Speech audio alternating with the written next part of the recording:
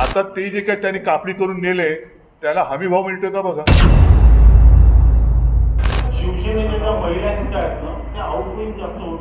काय?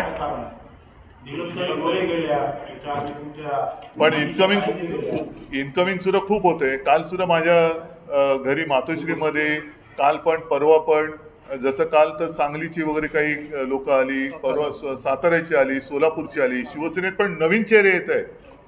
उलट जे न आता जे शिवसैनिक ज्यांना मेहनत करून सुद्धा संधी मिळत नव्हती ज्यांच्यावरती पदं घेऊन अन्याय केला होता देऊन मी अन्याय केला होता त्यांना नवीन चेहरे आता त्यांना चांगली संधी मिळते. आणि नवीन आता जसं मध्ये मी माझ्या एका भाषणात उल्लेख केला होता आपल्या नितीन देशमुखांनी चांगलं चांगलं मांडलं होतं की शेती आमची आहे ना हो.